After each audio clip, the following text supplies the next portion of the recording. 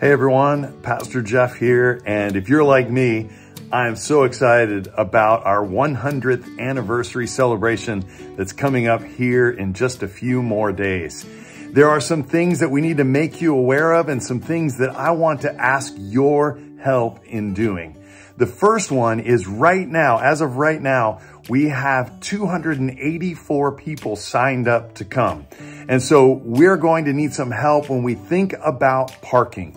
And so if possible, can you and your family, if you usually come in two or more cars, could you plan on carpooling that day? That will just help save some space in our parking lot.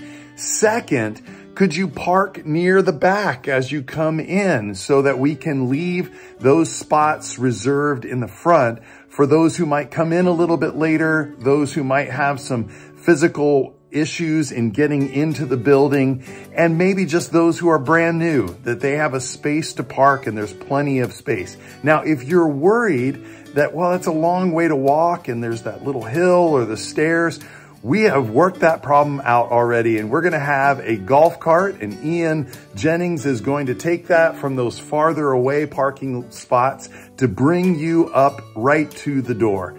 And so if you'll just help us out by parking a little further out, that's really, really going to help us. The last thing that I need help with is for food. Many of you have already signed up and because we have so many that are coming, it's gonna be a great day, but because we have so many coming, we would love for you to fix extra portions of whatever you've signed up to bring. That's gonna really help us. So if you're just planning on a small dish, can you make it a double portion? That will help us out so much. We are still in need of a few more items. We need two big coleslaws. We need one large macaroni salad.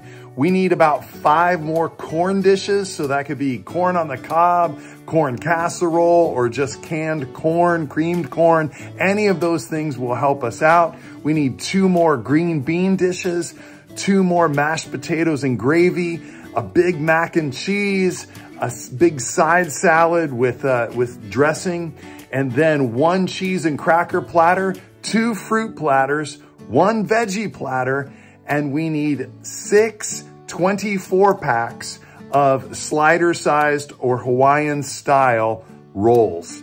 So if you can help in any of those ways, please sign up now or call the office and let Deidre know that you're willing to help by bringing something. That's really going to help us out. It's going to be a phenomenal day. You are not going to want to miss it. Bring your friends, bring your family. We're going to have an incredible party. I hope you'll plan to be there and I hope you'll plan to help us out. Thanks so much. And I can't wait. We'll see you then.